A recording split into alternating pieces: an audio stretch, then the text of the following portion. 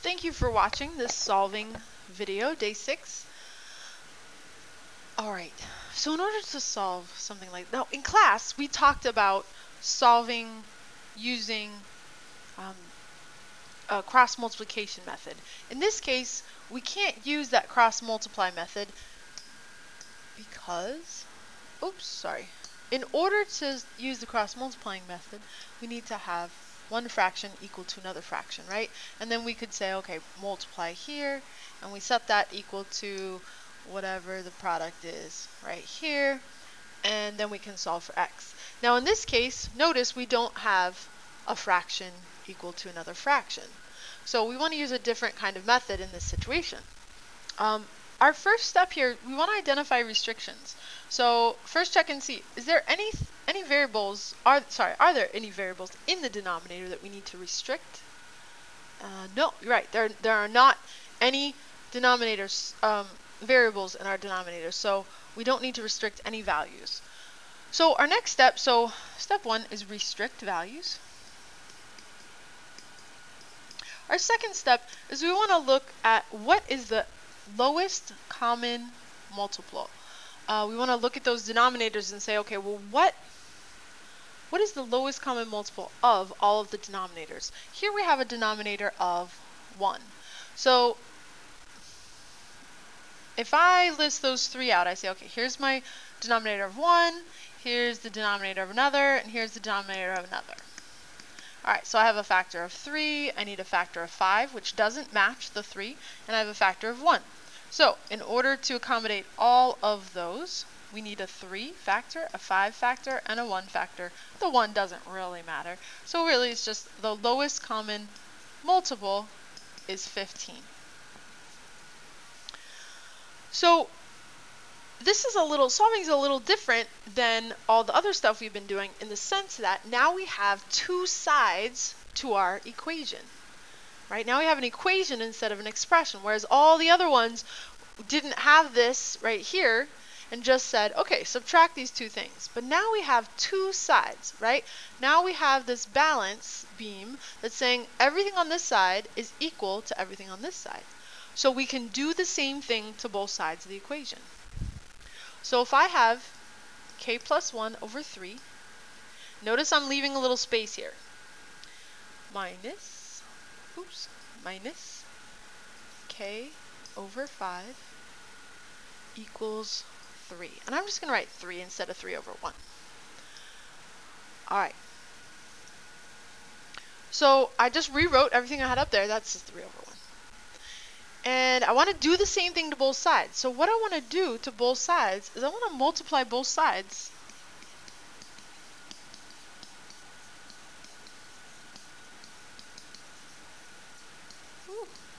by the LCM, by the lowest common multiple. Alright, so when I multiply both sides by the LCM, I'm going to multiply everything on this side times my LCM, which is 15, but I'm actually going to write it 5 times 3. I'm going to leave it in its factored form, right? Same thing, 15, 5 times 3.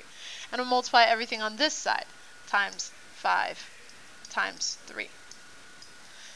Alright, I left it factored for a reason. If I distribute this in, it's going to go to both places. Right? It's going to distribute to both piece uh, terms there. So I have 5 times 3 times k plus 1 over 3. Right? So this is multiplying my numerator. Now, something happens here. 3 divided by 3 simplify to just be 1. Alright, and then we have minus 5 times 3 times k over 5, right? So I have my 5 times 3 here, my 5 times 3 here. In this case, the 5's cancel out. So since I already had a 5 here, they simplify, and the only thing really that ends up multiplying is the 3, because the 5's simplify. All right, and then we've got equals 5 times 3, 15 times 3 is 45. All right, so let's look at what just happened. Because I multiplied by the LCM, it, it contained the denominator here. It also contained the denominator here. So it, it basically got rid of my fractions. So now I've got what's remaining is 5 times k plus 1 minus 3k, so that 5 divided by 5 is 1, equals 45. All right, we're almost done. Now it's looking more like an Algebra 1 problem. Distribute this 5, 5k plus 5 minus 3k equals 45. Combine like terms, 2k plus 5 equals 45. Subtract 5 and I know what k is now. k equals 20.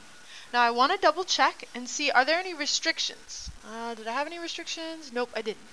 Alright, so I don't have to restrict any values, but I want to check does k work? So let's try. 20 plus 1 is 21. 21 divided by 3 is 7 minus 20 divided by 5 is 4. 7 minus 4 equals 3. Is that a true statement? Yes, it is. So I have just checked, and I know 100% before I even turn this paper in to my teacher that, that I got the answer correct. All right, or before I upload this video, I know I got it correct and I didn't make any mistakes. So our our goal or our steps were we wanted to restrict restrict any values in the denominator because we don't want the world to end, right? Denominator denominator cannot equal zero. We want to identify the lowest common multiple. We want to multiply both sides by that lowest common multiple in order to annihilate the denominator, right? So our denominators end up simplifying out. All right, let's try another one. All right, I actually want you guys to try this on your own. It's very similar to the one we just did. So I'd like you to hit pause, try this, and then check your answer. See if you can get some feedback. All right, hit pause now. All right, so hopefully you've already got the answer, but I just wanted to stop halfway and make sure that we've got this step correct. So our lowest common multiple would be 4 times 3 or 12. We multiply it to both sides. Now here's my equal sign, and I'm multiplying it on both sides, but it distributes to both pieces here. So I just have it multiplied to each piece. All right, so make sure if you haven't gotten this um, any further than this, I want you to hit pause, see if you can go from here. All right, so your final answer should be x equals 12. You want to check your work, write down any questions you have for me, but notice again our, our denominator simplifies and that 3 distributes. Here our denominator simplifies out, 3 divided by 3 is 1, and we're left with 4x. And then we just do algebra 1, and then over here this is my checking my work. I plug that 12 back in right here and here, anywhere I saw an x, and check to make sure that made it a true statement. And 2 plus 4 does equal 6. Alright. So, um, this is just one little step, um, getting just slightly more complicated. Uh, we want to look at our denominators. Here is divided by 1. I don't really need to worry about that. Actually, it's pretty, pretty easy to see that, well, my lowest common multiple is x minus 3. So one of the factors is x minus 3, I have a 1, and I have an x minus 3. I don't really need to worry about the 1. x minus 3 is my lowest common multiple. So I'm going to multiply through by that. Oh, what did I forget? Hopefully you're you're sitting there saying, Miss McSorley, you forgot you forgot to put your restrictions. All right. What are the restrictions? We are not allowed to let x equal 3. Good. All right. So we can't let x equal 3. And this is our lowest common multiple. So let's multiply both both sides. I'm going to do a little color color coding here. Alright, so I'm going to multiply. I have an equal sign here. x minus 3 times 4x over x minus 3 equals times 2 plus times 12 over x minus 3. Whew! Let me put some parentheses, make sure this isn't so confusing. Okay, so if you notice what's in blue, The blue is basically this equation stretched out. The first part term, the equal sign, the 2, the plus sign, and the last term. All right, and then I multiplied both sides times x minus 3. Now, why do I see it two times over here and only one time over here?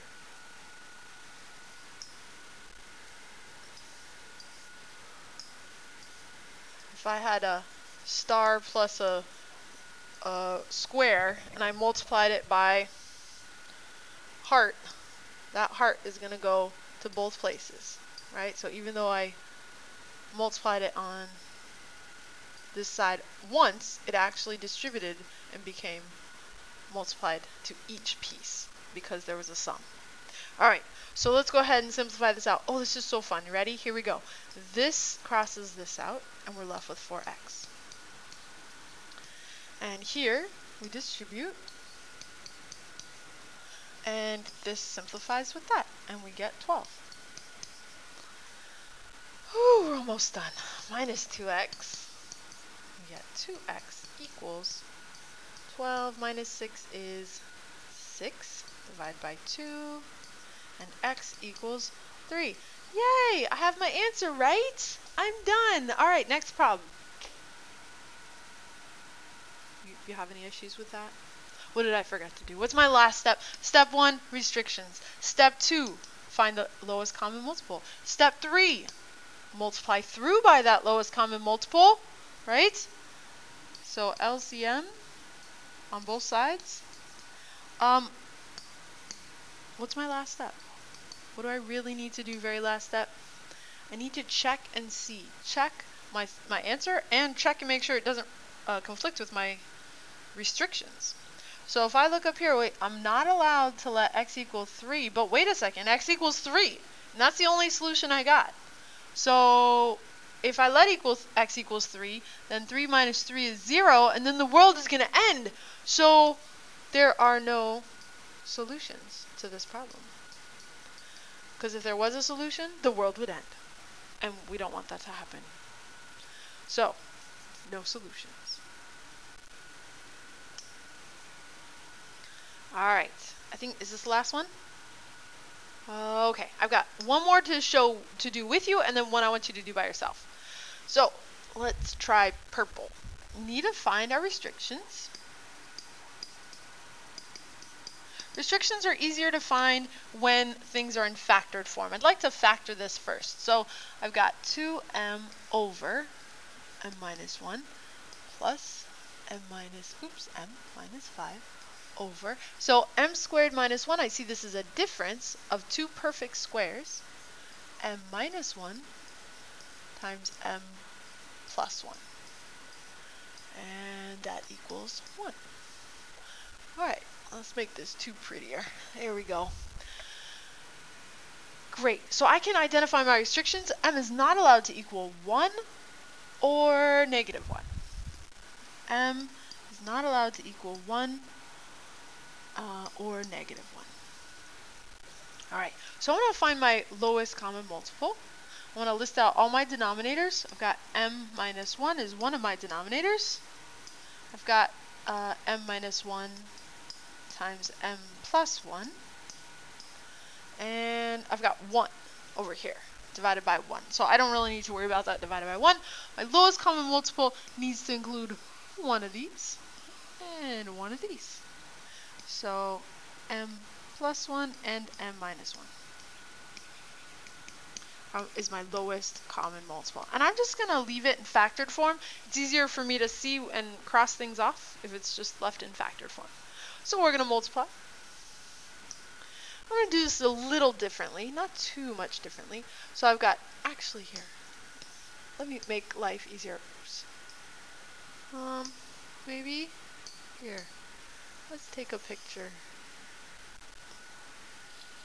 Where is it? There. No? Where'd it go? It's hiding. Hold on, I'll find it. Okay, I found it. It was hiding. Alright, so I just copied that, put it down here so we can reach a little better. So I need to multiply both sides, right? When we're talking about sides, we have an equal sign. I'm going to multiply both sides by my LCM. So I'm going to multiply this one times m minus 1 and m plus 1. I multiplied on that side. When I multiply on this side, it distributes to both pieces. So I'm going to multiply this one times m minus 1 and m plus 1. I'm going to multiply this times m minus 1 and m plus 1. Notice how I did it just slightly different, but I'm multiplying each piece times m minus 1, m plus 1, our LCM, right? This is our LC, oh that's supposed to be pink. LCM, LCM, LCM. Alright, now, what happens over here? I have m minus 1 and m minus 1 factors that cancel out. What's left is this.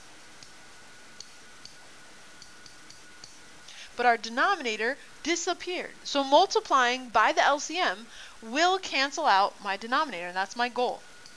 It'll help me solve and get rid of fractions. So I've m minus 1, m minus 1, simplify. m plus 1, m plus 1, simplify. But I still am left with m minus 5. And then here, nothing simplifies. There's no denominator, so it's just m squared squared, well, uh, I'm just going to write m squared minus 1, because I know that that really is m times m, uh, distributive property, all that wonderful stuff. Right here, right here, there we go. Okay, so m squared minus 1. Now we just do our algebra 1 stuff. 2m squared plus 2m plus m minus 5 equals m squared minus 1. All right. Combine my like terms. Now, it looks like we've got an m squared, so we're probably going to have to factor here. So we want to get one side equal to 0. Oh, we got three, we have three m's. I'm going to subtract m squared, and I'm left with 1m squared, a positive 3m, and I'm going to add 1 and get minus 4. Once we've got one side equal to 0, we can factor, and I'm thinking, okay, 4 times 1 equals 4, and I can get 3 from 4 and 1. In order for it to be a positive 3, I need a positive 4 and a negative 1. My solutions are m equals negative 4 and m equals positive 1. But am I sure? Do I know those are my answers for sure, for sure? Am I done? Have I checked it? Not yet. I want to check because up here I have some restrictions. m is not allowed to equal 1. Ah, it's not allowed to equal 1. Alright, so I'm not allowed to let that equal 1. Because if I plug in 1 minus 1, I'm now dividing by 0 and the world ends. Okay, don't let the world end. Save the world. Here we go. This would be my only answer. I would want to check it, so multiply it in 2 times negative 4, negative 4 minus 1, negative 4 minus 5.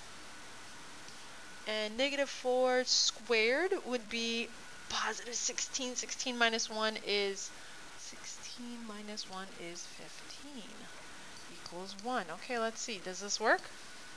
It looks like I would need to multiply this by uh, 3 over 3 maybe? Let's try. 3 over 3. Neg oh, no, no, wait. Negative 1. Oh my goodness negative 15 over